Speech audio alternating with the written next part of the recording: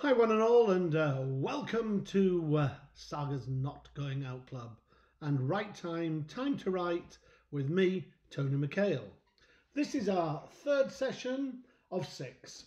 The idea being at the end of the six sessions, you will be able to go off and write your own TV drama, your own radio drama, your own stage play, your own film, or even your own novel. It's to give you a grounding to be able to go and do that.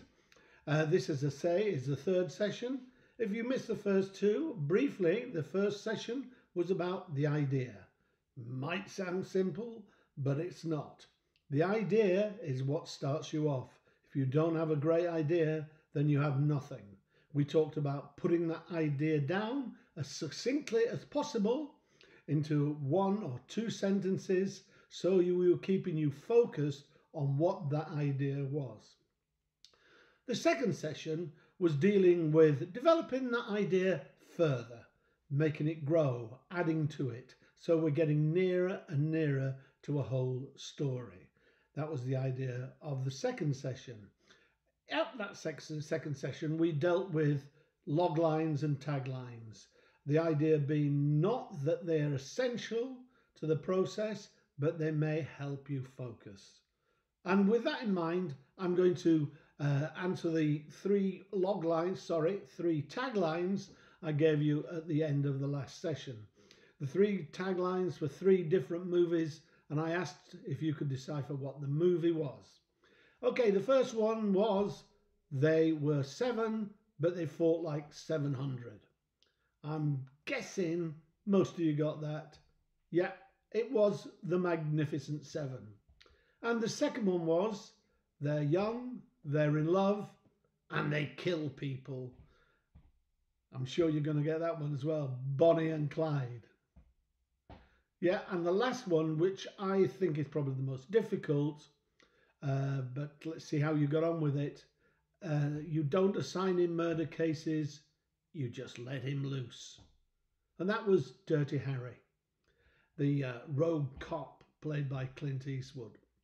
Now, the reason I chose those titles to talk about the tagline was actually to give a link into session three here today. And that link is that all those are great characters. Uh, the uh, Dirty Harry character, well, the piece just wouldn't exist without that fantastic characterization. It's what made the piece different from anything else at the time. Uh, they also, if you look at Bonnie and Clyde, that coupling was totally original and innovatory. We'd not seen anything quite like it when they were released onto the silver screen. And the Magnificent Seven, you've got seven very different characters leading the charge there. So it's great characterizations as well as great story that has made those films work the way they did. Uh, you've heard me say that story is God. Well, it is. Story is God. But if story is God, then characters are his support team. And that's what we're going to talk about creating today and how we go about creating new characters. So, many years ago, I was commissioned to create a new spin off show from BBC One's Casualty, their very um, successful Saturday night hospital drama. Uh, they wanted this spin off to go out and sort of Tuesdays or Thursdays or whenever. And, uh, and I said, okay, yeah, off I went. But I hadn't got a clue what I was going to write about. I didn't, I didn't know where to start. But after some thought, I decided that what I would do was make it set in a cardiac thoracic ward, in the heart ward, because that way uh, I felt we were dealing with the center of the body, the heart, if your heart stops beating, then you stop living. And uh, it's also the heart of the emotional body, the emotional person. So it felt like a good mix for me at the time.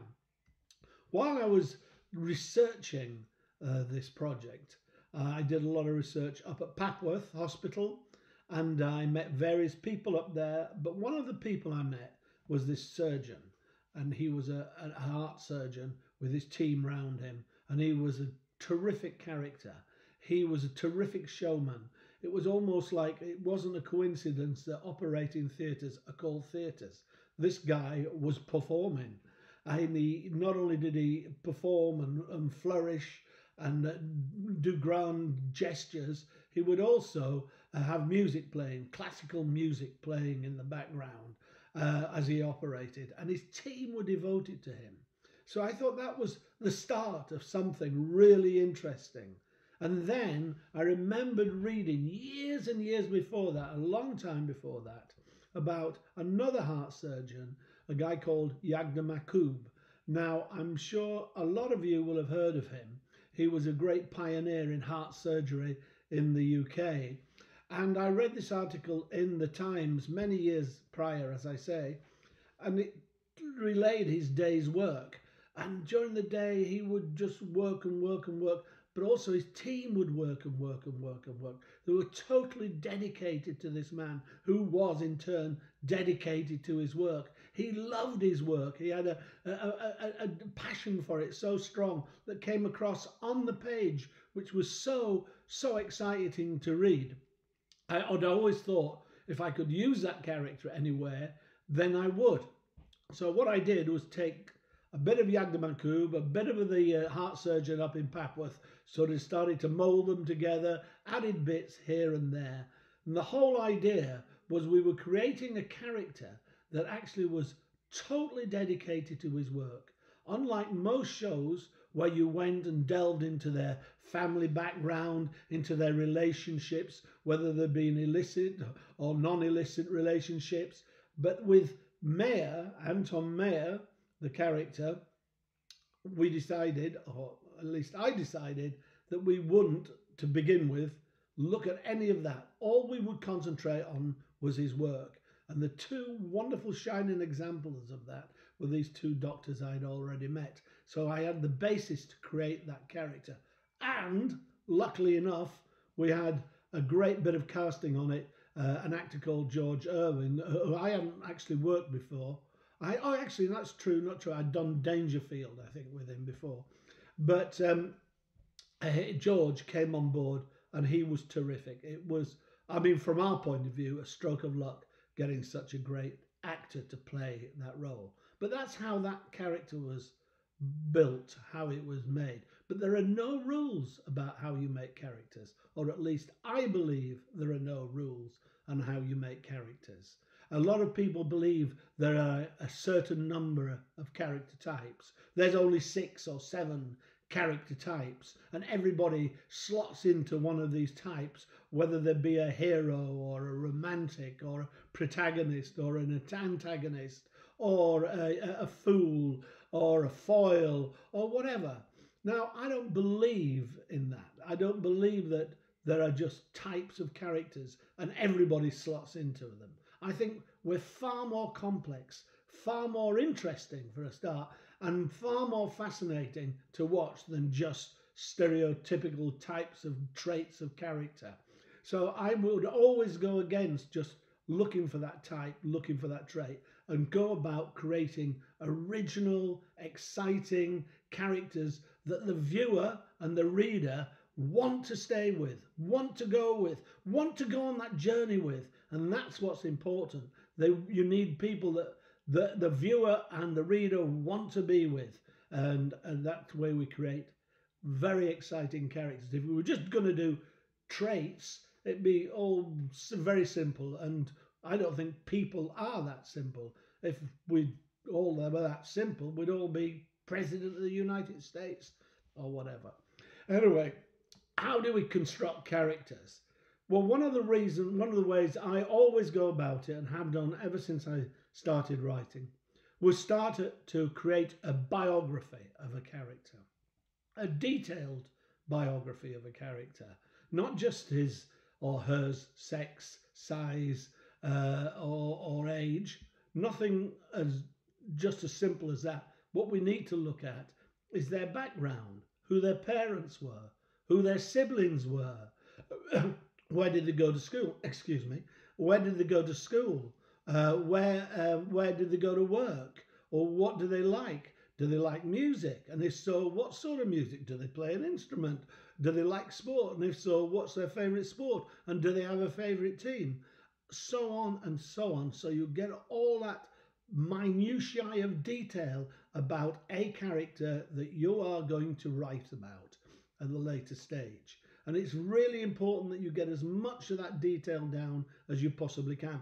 Of course, you're not going to use all that detail. It's never going to appear on a page or on a screen, but it is going to help you write that character and also write the situations that he, that character finds himself in.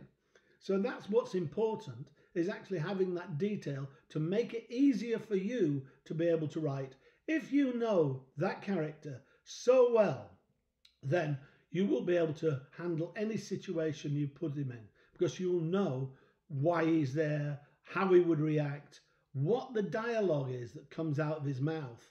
You'll know that man or woman so well that you'll be almost part of them, that you'll think of them. And you should be able to hear their voice in your head as they speak your lines or go about their, their uh, incidents, their plots that you have created for them. So that's what I would do, and uh, it's quite uh, a laborious job, but in a way I found it very rewarding and quite exciting when you see this character coming together. Be very careful though. Don't be like a lot of actors. Um, if you're uh, an actor and you're creating your own character, then a lot of time actors create characters that they want to play themselves.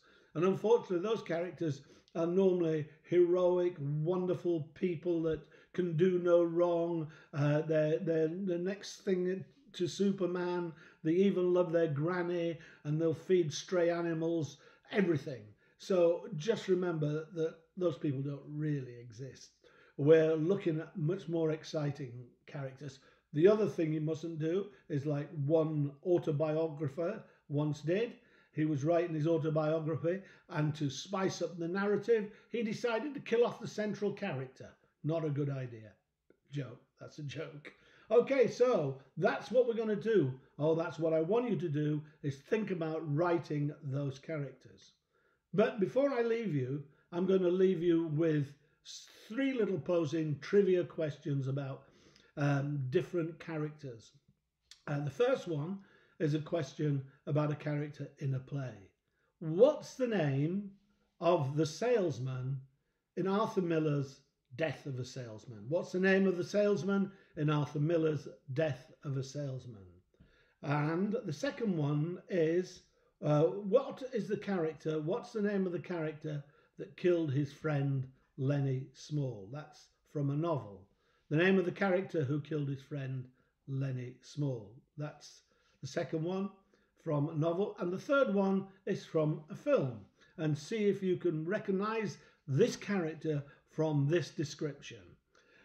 He is a jaded bar owner who wears a dour expression as he drinks and plays chess alone.